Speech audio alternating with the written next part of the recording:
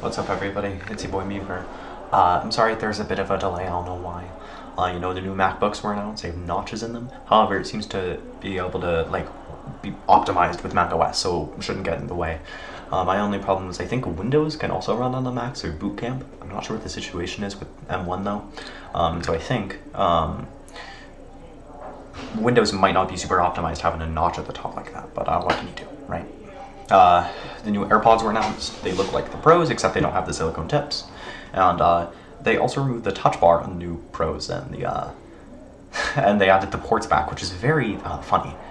Um, so yeah, my parents are watching SNL. I'm not too into it. I don't think it's very funny. Uh, yeah. All right. See ya, dude.